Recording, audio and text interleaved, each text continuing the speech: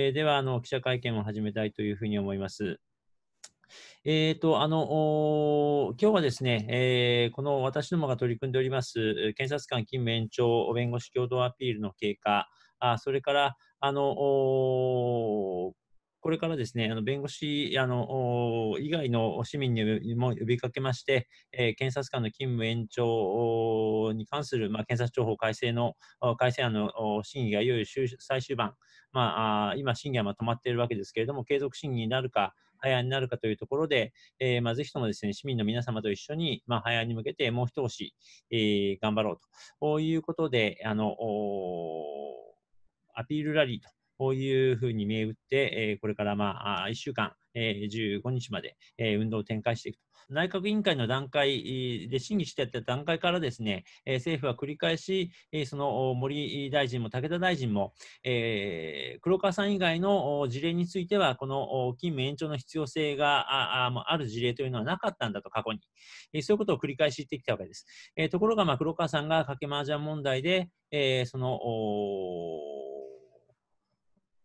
辞職に追い込まれたと。そういう中で、今度、辞職後にですね、じゃあ、その、検察庁の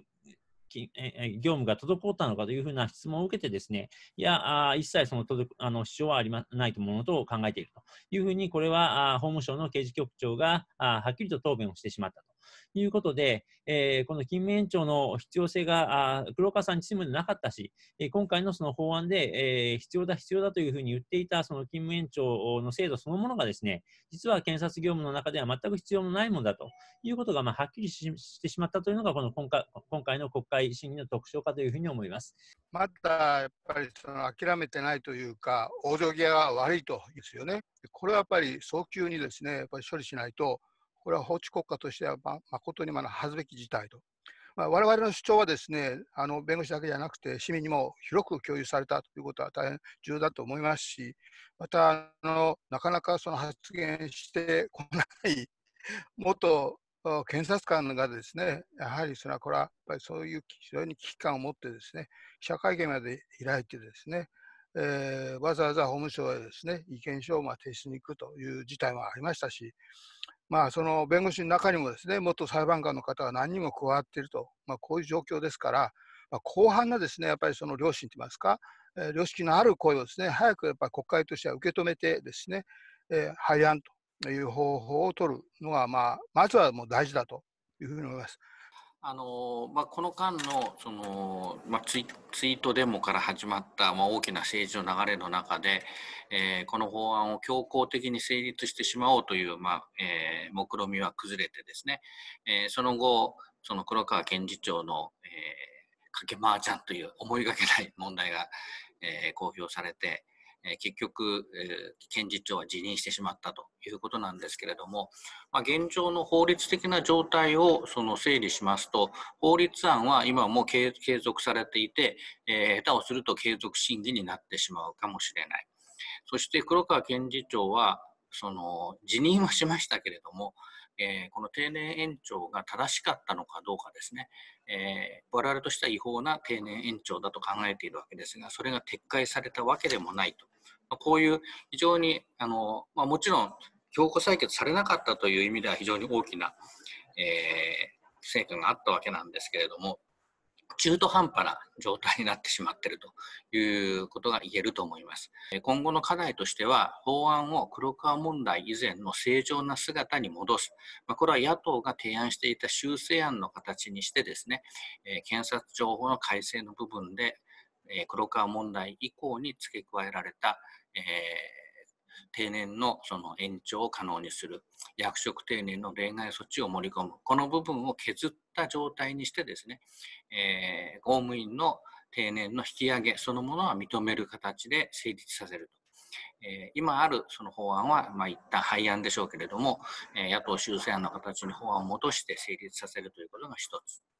でそしてやっぱり黒川検事長に対する定年延長は違法なものだった、えー、これを確認して撤回させるということが2つ目の課題じゃないかと思います。でもう一つすごく重要なことはこの定年延長が行われた経過これが非常に不自然な経過なわけですが、2月の衆議院の予算委員会の審議の中で、えどういう経緯だったのかを明らかにするということが、え森法務大臣によって約束されております。しかしそれが、え明らかになっていない。えこの定年延長の不自然な経過についてですね、え法務省は国会に報告する義務を負っているわけですが、それが明らかになっておりません。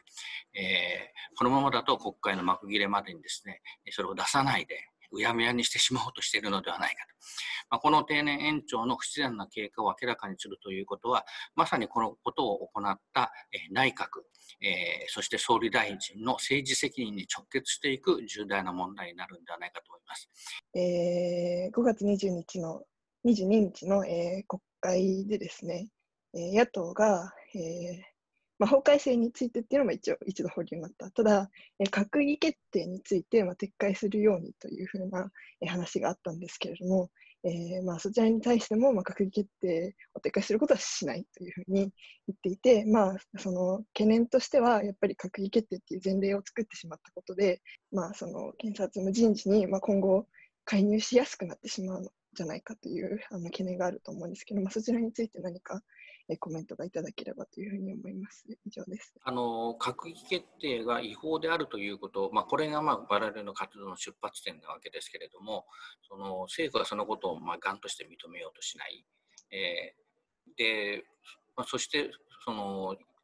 自分たちが行った閣議決定を、まあ、事後的に合法化するために検察庁法改正部分を全面的に書き改めて、えー、法律として提案してきたわけですね。